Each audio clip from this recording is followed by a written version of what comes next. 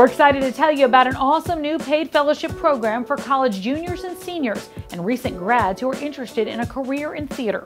It's called the Black Theater Coalition Broadway Across America Fellowship.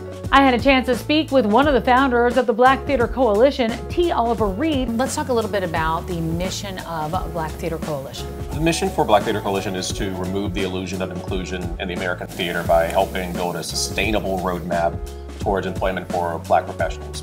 Uh, and we were we were very specific about using and saying the American theater, and not just Broadway, because we realized that there, this was an issue and a problem that we wanted to address within the entirety of theater. So yes, on Broadway, but also in regional theaters. Yes, also at performing arts venues, as well as colleges and universities when young actors and, and those who want to be in the business are really sort of getting a start, but also really look at when kids are between 9 and 12 and they get that spark of interest in the theater. Mm-hmm. Those who want to be on stage, they understand that, yeah, that there's a place for you. But for those who don't sing, act, or dance, to understand that there's still there's still a space for you in the American theater, and that may be uh, in marketing or public relations, or that could be as a general manager or a facilities manager, all these things that we don't hear about those those positions and those careers as readily as we do of sure. those that are singing, acting, and dancing. For us, so for us, it really is about not looking at those who are on the stages, but those who are behind the stages, those who are in the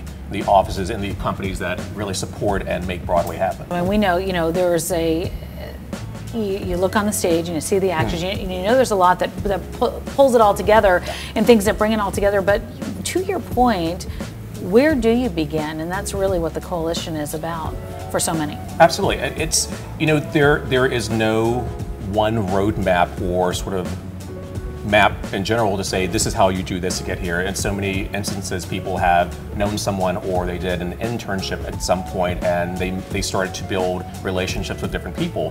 For us, it's like let's figure out ways to build those relationships. So for these these 10 regional fellows who will be a part of this this fellowship, they begin to build these relationships with uh, those who, the, the, administration, the the organize, organizers, the the powers that be at each of the offices that Broadway Across America has that they'll be working at. As we start to build these relationships and make sure that people are in certain rooms where decisions are made, they continue down the pathway towards whatever their goals may be. It's like for us, like making sure that they, you know, if there's a show that's happening and we have a fellow that's working on that show or in this this office, that they start meeting people and in a year someone's like, oh, I want to hire someone this. Oh, you remember this fellow who worked at the BTC BAA fellowship? Let's make sure that they are we're seeing them for that. They'll come out of this with connections so that they're built those begin to build those relationships because this business really is built on not only talent 100%. but also on those relationships. What made you say this is where I need to devote my time now? I'm at a point that I really have I understand that my, my passion and my purpose have have joined finally. So nice. all all that I've learned and all that I have been able to witness in the theater to now be able to be some small part of making sure that the theater that I love and have loved since I was a nine year old kid, we can continue down a road that will show more representation of, of people who look like me as well as look like what we're used to seeing.